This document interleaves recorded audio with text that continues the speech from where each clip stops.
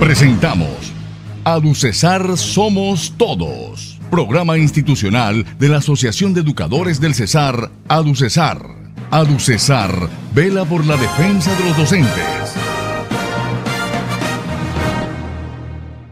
Les saludo desde Valledupar, capital mundial del vallenato, para presentarles el programa institucional de la Asociación de Educadores del Cesar, ADUCESAR. Bienvenidos. ADUCESAR vela por la defensa de los docentes. Estamos presentándoles ADUCESAR Somos Todos. Las opiniones y las directrices al Magisterio del Cesar son presentadas por su presidente. Bienvenido. La nota editorial está basada en pregunta y respuesta que hoy dará a conocer el presidente de ADUCESAR, Jorge Luis Rivero Larios. Con los buenos días, presidente, ¿cómo sigue la prestación del servicio de salud del Magisterio del Cesar por parte del prestador de salud Foscal CUB SEMA Antigua Preventiva? Primero que todo, muy buenos días, profesor, eh, periodista Santiago Marmolejo.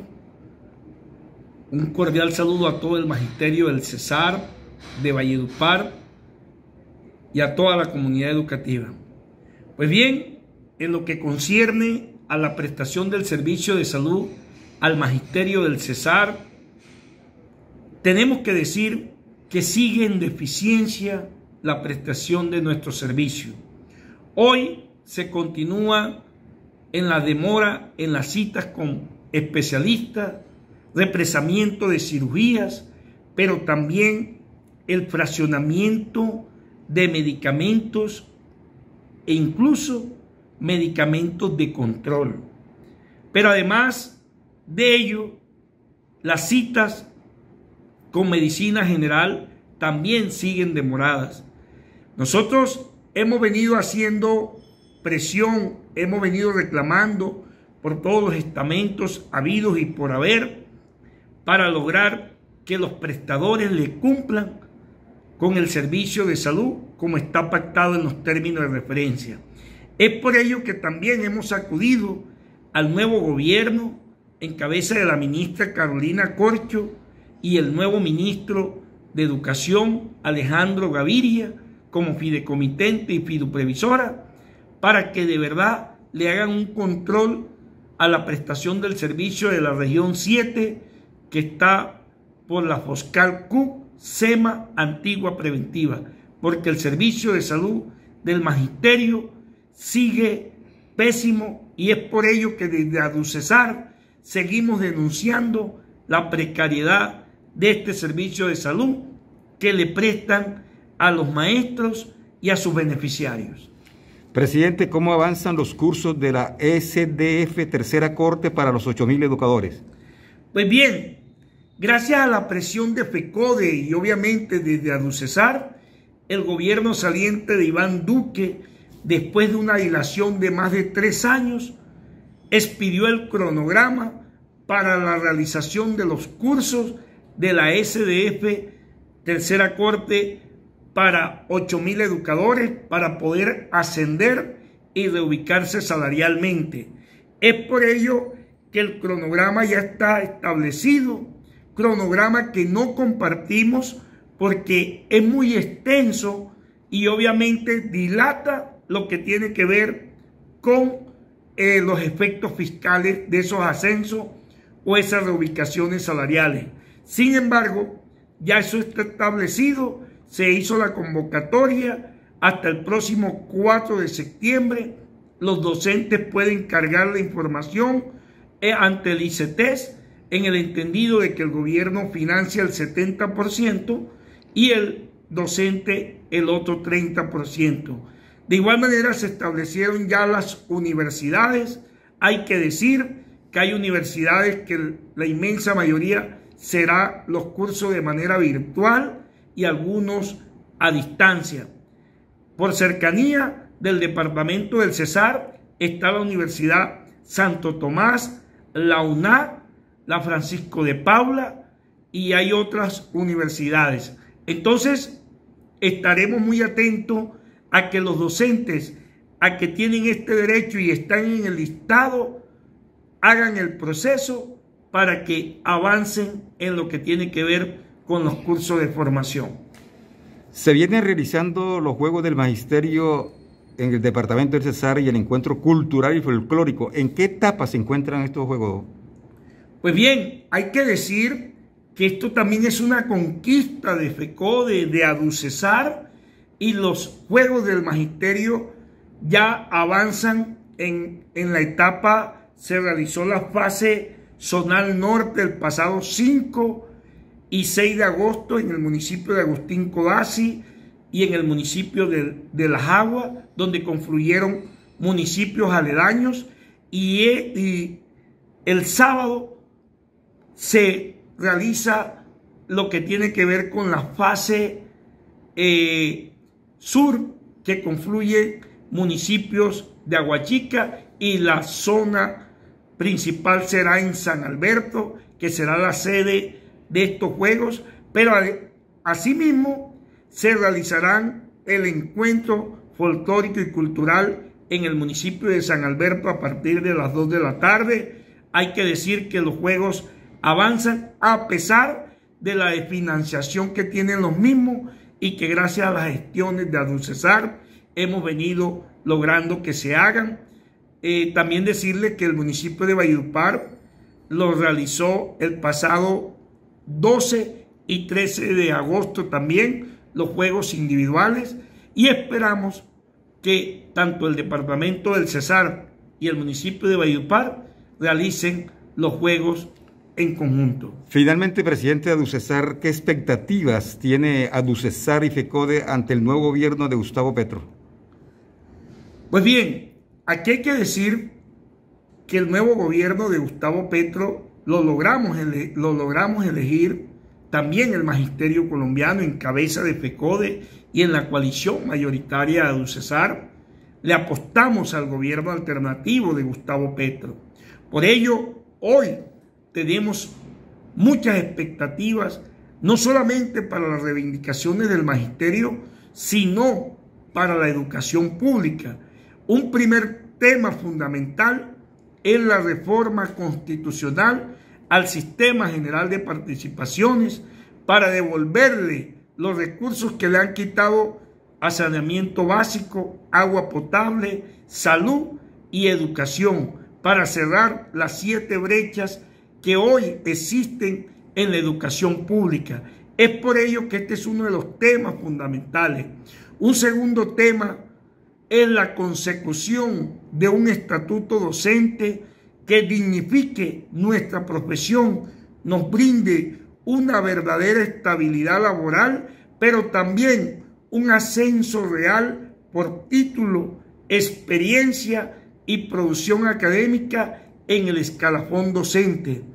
Asimismo, seguir defendiendo y conservando y preservando el modelo de salud especial del magisterio concebido en la ley 91 del 89 a través de la lucha.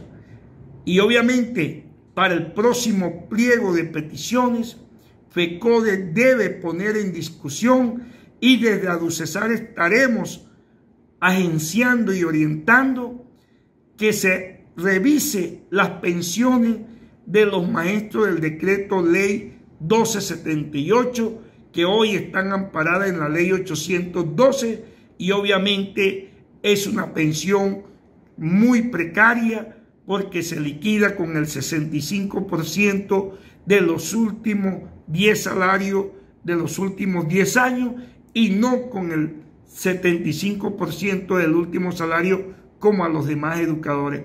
Ese es un tema que hay que poner en revisión para el próximo pliego de peticiones de FECODE.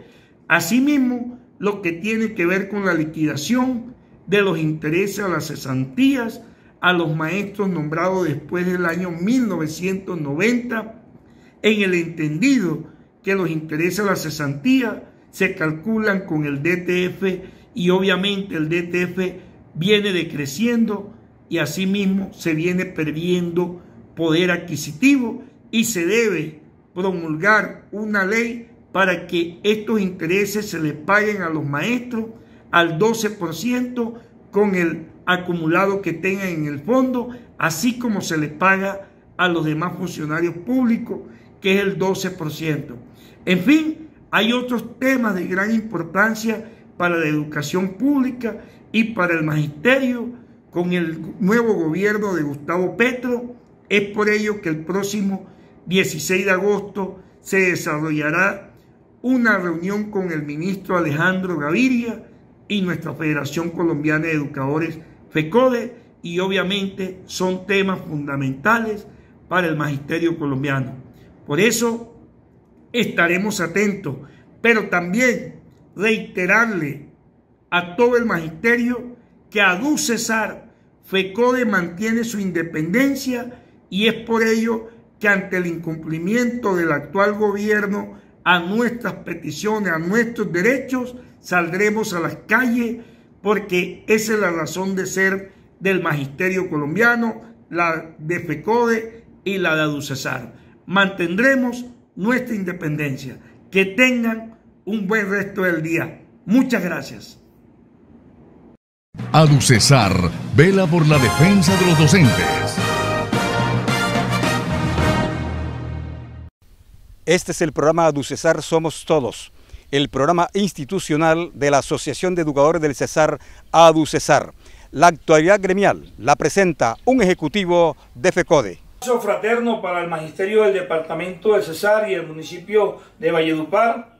Desde el comité ejecutivo de FECODE le saluda Fabio Herrera Martínez. Yo soy el secretario de Asuntos Cooperativos e Intergremiales de FECODE.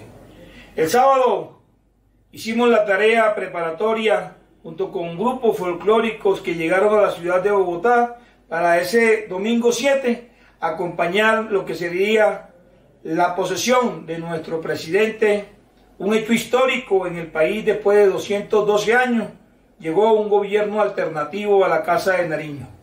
Nosotros acompañamos ese proceso y acompañamos el proceso convencidos que era una oportunidad para el pueblo colombiano y especialmente para las mayorías marginadas durante tanto tiempo. Con alegría recibimos también el nombramiento de nuestra compañera Gloria Inés Ramírez en el Ministerio del Trabajo, compañera que fue presidenta de FECODE y con quien pudimos acompañar la lucha en el año 2000. Esta semana que termina, nos hemos preparado para la audiencia que tenemos con el nuevo ministro de Educación, el doctor Alejandro Gaviria, con quien aspiramos formar una agenda de trabajo que permita darle salida a la problemática que tiene tanto el magisterio colombiano y especialmente nuestros compañeros del decreto 1278 con los cursos, con la convocatoria a la cuarta corte, con el modelo de evaluación que se debe implementar, que no sea punitivo y que realmente ayude a cualificar al magisterio en sus situaciones concretas. Igualmente estamos atentos a lo que será la política frente al PAE el transporte escolar, cómo abordamos la situación de los establecimientos educativos que hoy tienen aulas inconclusas, que no hay dotación, que hay un sinnúmero de problemas, que hacen falta maestros, que no hay aseadora, no hay vigilantes y hay un deterioro general. Toda esa problemática tendremos que abordarla en esa agenda, pero somos conscientes que no se le podrá dar respuesta de manera inmediata a ese cúmulo de problemas. Pero sí tenemos la responsabilidad de insertarnos en las líneas del Plan Nacional de Desarrollo que posibiliten abordar esa problemática desde el gobierno nacional, el gobierno departamental y municipal. Es la única manera como podemos salir adelante. Igualmente nos preparamos para una discusión con el gobierno de Gustavo Petro en lo que será el pliego a radicar en el año 2023. Estamos haciendo un ejercicio juicioso, sin acompañarnos de extrema alegría, pero con mucha objetividad, porque aunque somos co-constructores de este proyecto político, nosotros como organización sindical mantenemos nuestra autonomía y mantenemos nuestra bandera y principios en alto. Viva la unidad sindical y seguimos haciendo la tarea. Feliz resto de semana. ADUCESAR vela por la defensa de los docentes. Hemos llegado al final de ADUCESAR Somos Todos, programa institucional de la Asociación de Educadores del Cesar, ADUCESAR. Gracias por su atención. ADUCESAR vela por la defensa de los docentes.